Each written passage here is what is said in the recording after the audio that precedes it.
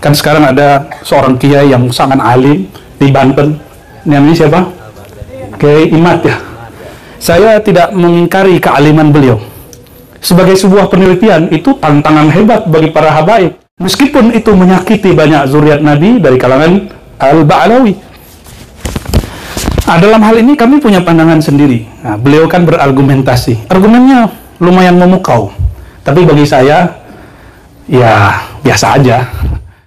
Mungkin tidak ada yang kenal sebelumnya. Tapi karena cinta kepada kekasih-kekasihnya, kita berkumpul meskipun di atas terik matahari yang luar biasa panas, yang luar biasa. Salawat kepada Abul Alamin, Sayyidul Wujud, Sayyidul Saqalain, Sayyidina Muhammad sallallahu alaihi wasallam yang disebut dalam kitab-kitab salawat Al-Ab Al-Akbar, Al-Ab Al-Azam, Abul Arwah, Bapak sekalian alam semesta, bapaknya semua ruh. Jadi walaupun secara nasab jasad sebagian besar yang hadir mungkin bukan zuriat Nabi, tapi ruhnya adalah anak-anak ruhani Nabi Muhammad SAW. Namun tidak boleh iri dengan yang lahir darahnya darah zuriat Nabi Muhammad SAW.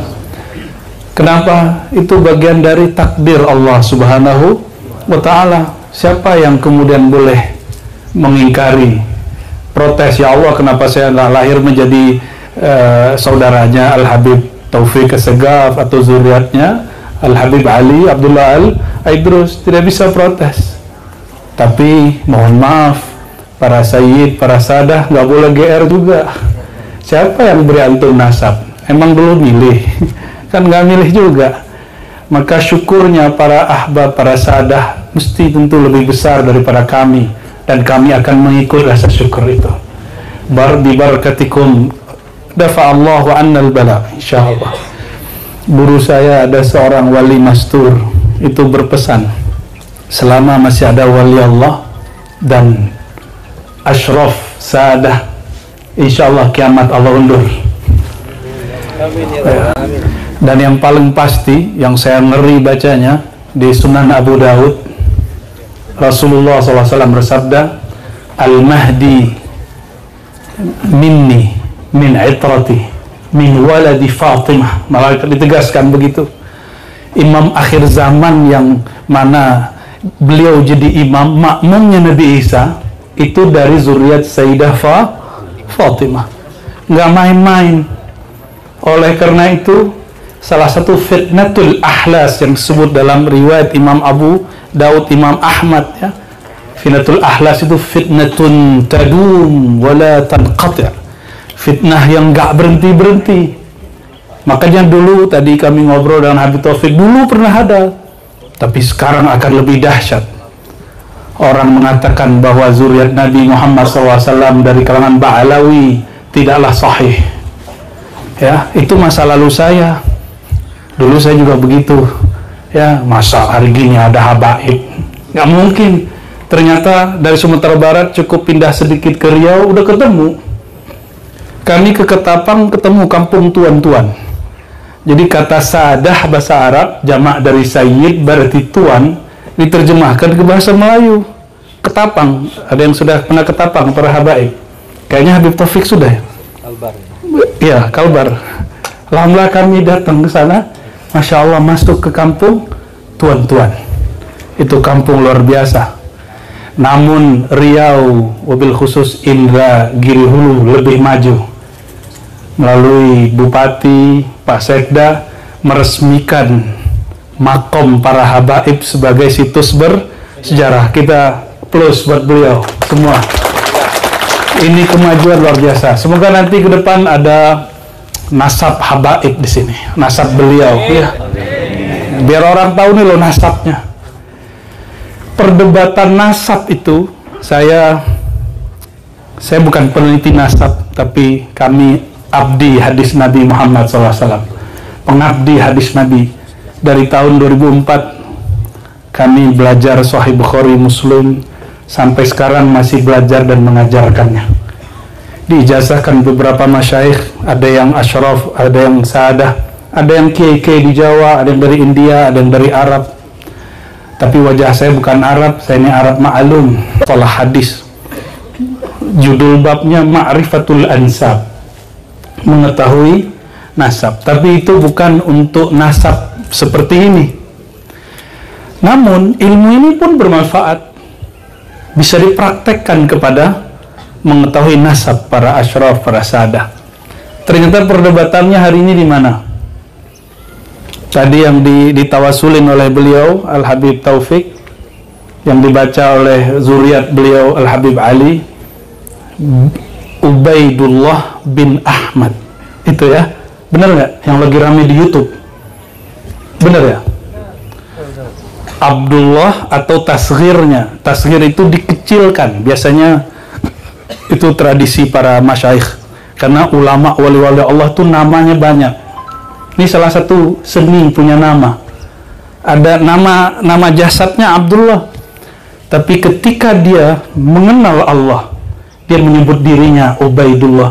Abdullah itulah Sayyidina Muhammad SAW. Ubaidullah aneh. Dia bilang begitu.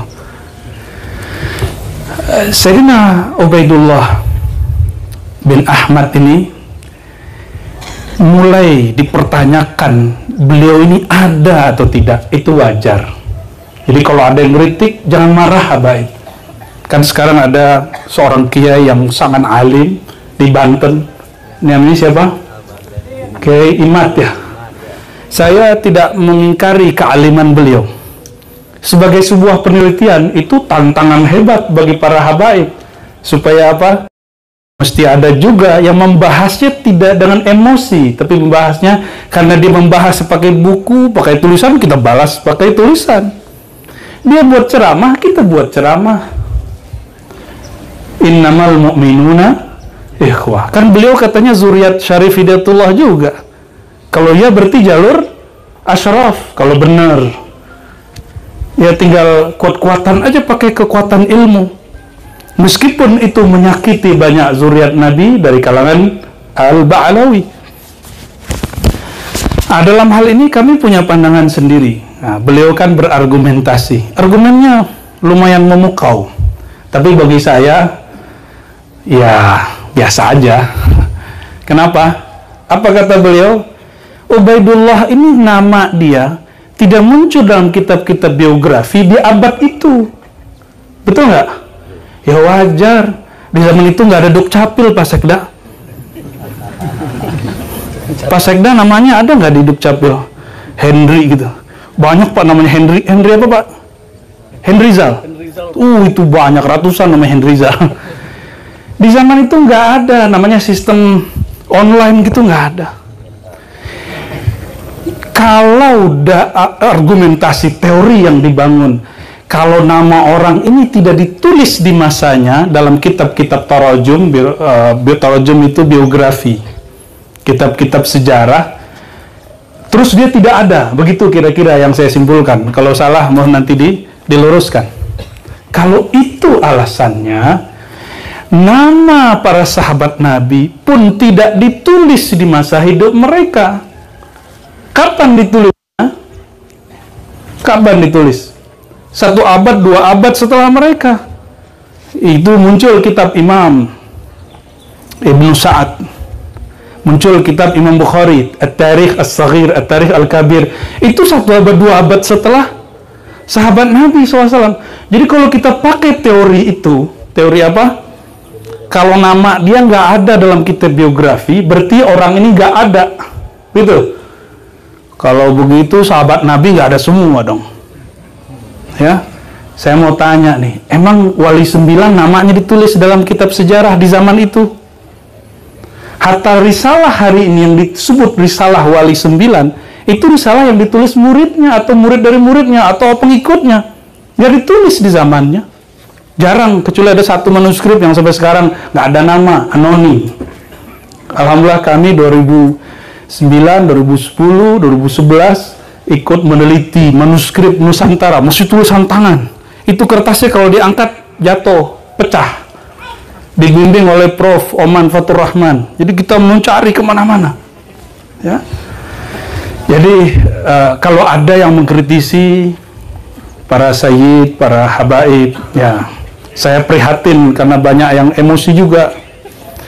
Uh, bagi saya kita tanggapi saja dengan kepala dingin. Itu secara keilmuan. Kalau dalam bab adab dan bab fikih, begitu juga bab ada satu ilmu yang menjadi kitab Al-Kabair, dosa besar. Dosa besar. Salah satu dosa besar, orang menasabkan dirinya ila ghairi abi kepada selain ayahnya. Ini saya mau tanya, menurut yang hadir ini Al Habib Abdullah Al Haddad itu wali nggak? Nggak usah nggak wali, ulama nggak? Al Attas yang kita tulis Ratibul Attas Al Idrus saya dapat juga Toriko Al Idrusiyah ada juga Toriko Al Idrusiyah dapatnya di Banjar tahu-tahu di sini di Indragiri banyak orang Banjar juga ya. Bahkan eh, walaupun tidak disepakati Syekh Muhammad Arsyad Datuk Kelampayan ada yang menyebut nasabnya kepada Al Aidrus. Ya mungkin karena ketika diinput kurang pas. Ya para zuriat wali songo ketika diinput Robitoh kurang pas akhirnya muncullah protes ini. Ini pun juga harus jadi pelajaran bagi kita terutama pengurus-pengurus Robitoh apa apa masalahnya? Gitu uh, kalau bahas begini, udah harinya panas, kepala ikut panas. Saya biasanya bahas tasawuf, mahadis. Jadi bahas ilmu nasab deh. Ya.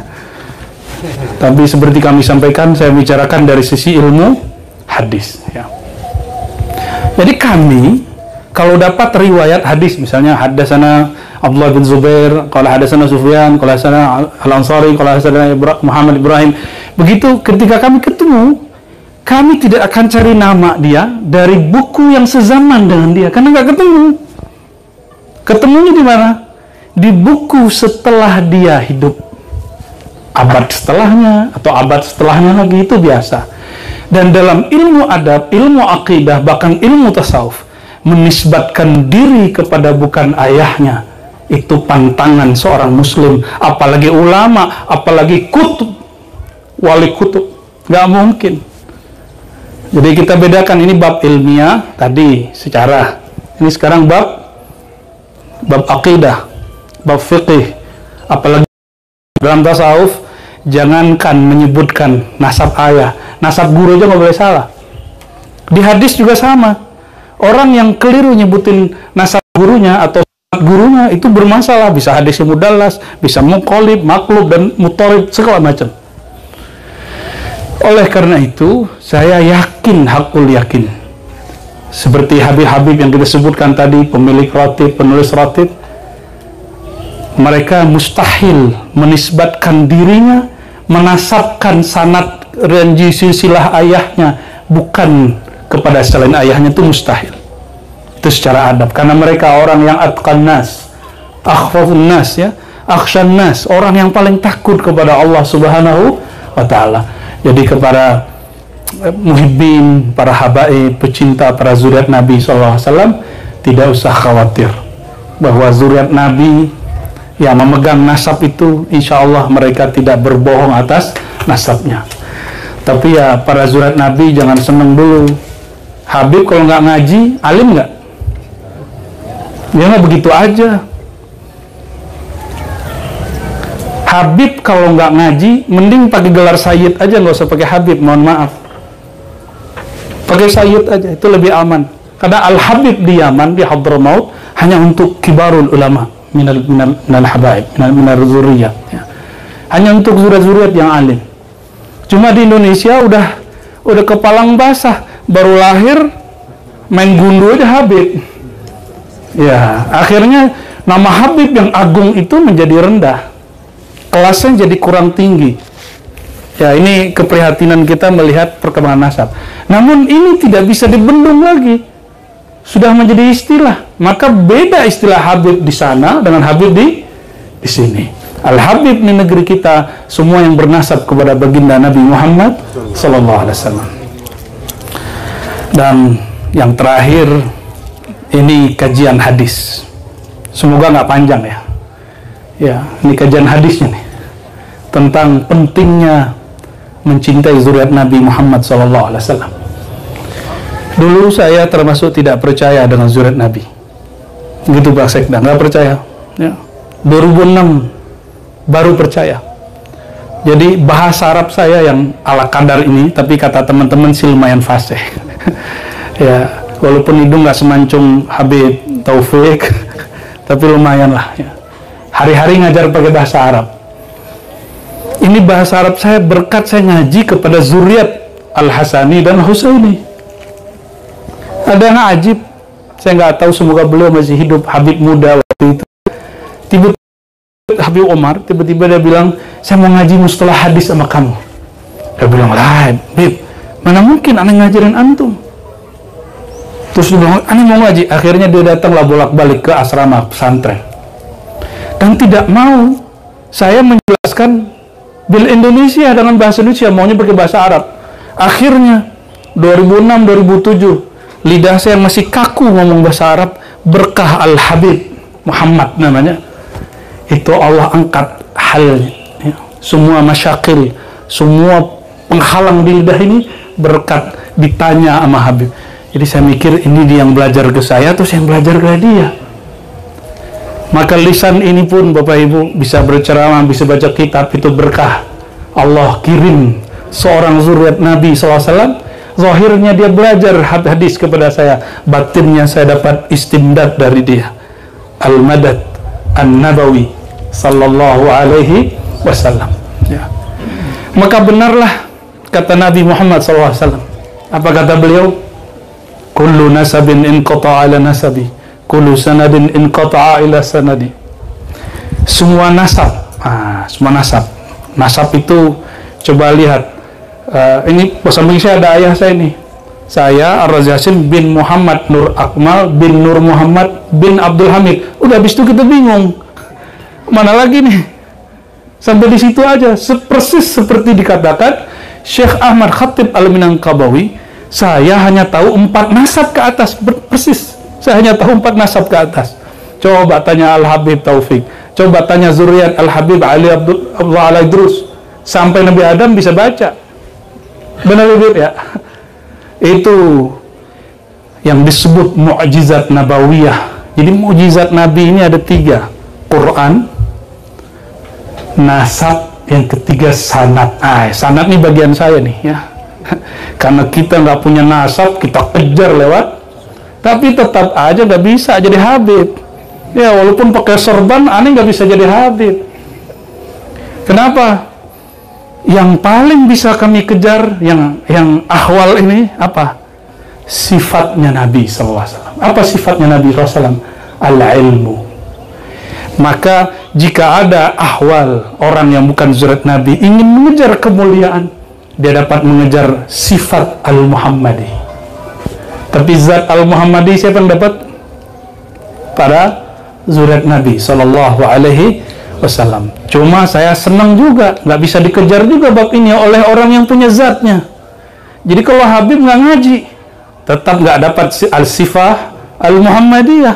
Alhamdulillah fastabikul khairat ya kita lomba-lomba Habib.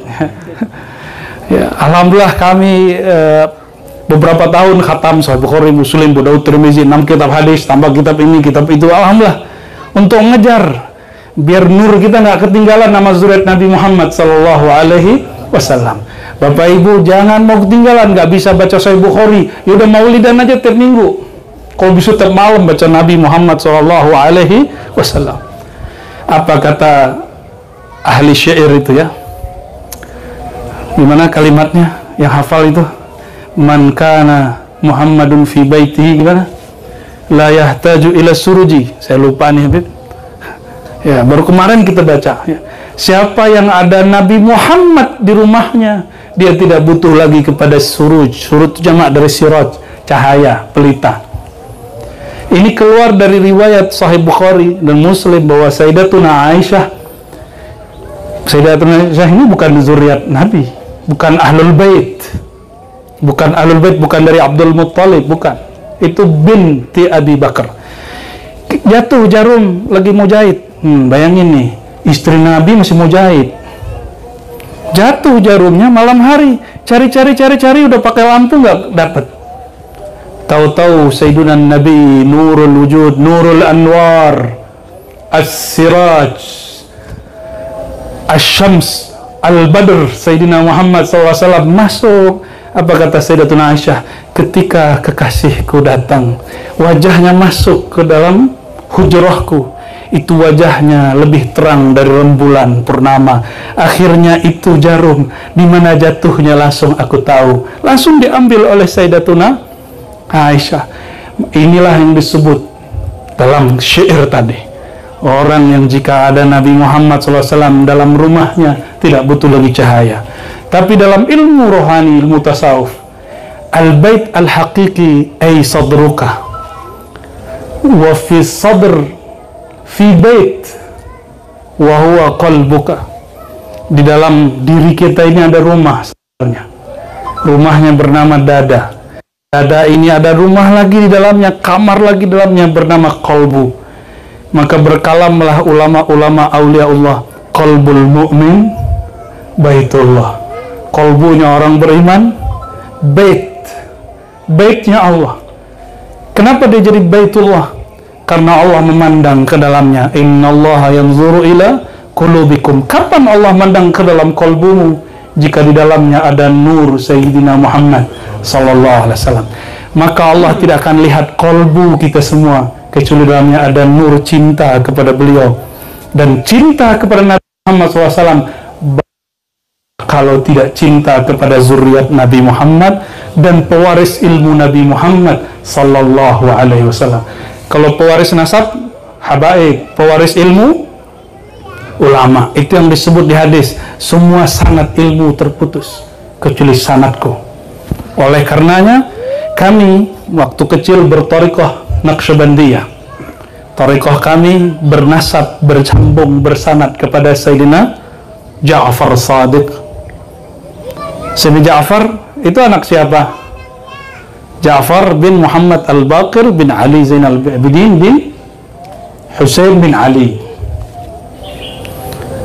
Dan kami pun mengambil torikoh yang lain selain Naqsyabandi semuanya bersanad torikoh ini ahlu sunnah ini. Torikoh ahlu sunnah. Kullu turuk semua torikoh tantasibu ila Abi Turab Sayyidina Ali karamallahu wajah. Semua torikoh ini torikoh apa aja? Abah Gurus Kumpul Toreko Saman Qadiri Mama Falak ada 27 Torekoh di Bogor. Semuanya bersanat kepada Sayyidina Ali. Dan perhatikan itu bukan nggak perlu jadi rafidah nggak perlu jadi pencaci sahabat. Mencintai ahlul bait mencintai sahabat satu paket. Itulah ahlus sunnah wal wal jamaah kita juga nggak akan mau ngamuk-ngamuk sama teman-teman syiah kok nggak. Mereka mungkin keliru aja sejarah. Akhirnya menghujat sahabat-sahabat Nabi ya. Bapak Ibu saudara saudariku para hadirin. Saya senang sekali dengan peresmian kampung Mufti Indragiri kita jadi faham bahwa sejarah zuriat Nabi dari dulu selalu kontribusi kepada kampungnya, tempat negerinya dan mereka tidak mengharamkan untuk bekerja sama dengan kesultanan pemerintah. Nah, ini juga bisa nanti mem untuk memahami kenapa Al Habib Osman di Betawi waktu itu yang menguasai Betawi bukan kesultanan Belanda. Maka beliau pun untuk jaga para zuriat dan ulama bekerja sama juga. Meskipun kemudian muncul perdebatan. Kenapa muncul perdebatan? Karena orang berpikir Batavia yang dulu kayak sekarang jadi logikanya logika Indonesia pada saat itu Indonesia belum belum ada. Dulu jangankan antara Betawi ya, jangankan antara Fulan dan Fulan. Dulu Malaka perang dengan Johor. Malaka perang dengan Aceh. Minangkabau perang dengan Aceh. Dulu Minangkabau perang dengan kerajaan Indragiri. Dulu perang semua. Bukan berarti mereka nggak nasionalis. Ketika nih contoh saya mufti Minangkabau. Waktu itu ada di Indragiri Al Habib Fulan jangan Habib Ali. Ketika saya berfatwakan ya kita perang dengan yang di Indragiri. Dan itu bukan Indonesia, bro. Ya, jadi orang-orang yang mengaitkan sejarah Habib Osman yang kemudian terlihat baik dengan pemerintah yang datang saat itu waktu itu Belanda, mereka logikanya apa? Logikanya Indonesia. Pada saat itu belum ada Indonesia. Dulu Batavia punya Belanda, sampingnya kerajaan Banten, sampingnya kerajaan Cirebon, kerajaan-kerajaan. Waktu itu belum ada Indonesia. Maka siapa yang paham sejarah hati-hati dalam menyimpulkan teks-teks sejarah apalagi hari ini saya sedih sekali beberapa kiai beberapa gus-gus nyerang habaib. Nyerangnya pakai apa? Pakai teks yang ditulis oleh Londo. Ya orang Belanda nulis tentang Habib Fulan. Lo dia percaya. Ya Vandenberg cerita Snow cerita, dia percaya dengan berita itu. Ini yang harus kita waspadai. Kok dia percaya dengan berita orang Belanda untuk menghancurkan, untuk mencaci maki zuriat Nabi, ulama-ulama. Ya, terlepas dari apa yang terjadi, saya menghormati mereka yang berkomentar masalah ini, tapi ilmiah disambung ilmiah, jangan pakai eh, emosi. Ya, ala kulihal saya cinta dengan mereka semua. Jadi yang mengingkari zuriat Nabi sekarang itu mereka ternyata banyak bernasab kepada wali sembilan. Kita pun cinta kepada mereka jika betul mereka punya nasab. Karena saya yakin mereka tidak akan memalsukan nasabnya. Meskipun tidak terinput dalam Rabitah. Apalagi yang sudah jelas sahihnya yang ada namanya di Rabitah Alawiyah. Ana uhibbukum jami'an. Semoga para ulama, para habaib kembali bergandengan tangan dan kita tunjukkan kepada umat bahwa kita adalah pewaris dan antum para habaib adalah pemegang nasab bersama memperjuangkan ajaran Nabi Muhammad sallallahu alaihi wasallam. Barangkali itu dari kami Al-Faqir Ar-Razi Hashim. Semoga yang hadir ini dapat ridha berkah dari Allah SWT dan negeri Kabupaten Indragiri Hulu mendapatkan rahmat berkah tambah maju peradabannya. Amin ya rabbal alamin. Demikian dari kami subhanakallah wa asyhadu an la ilaha illa anta. Assalamualaikum warahmatullahi wabarakatuh.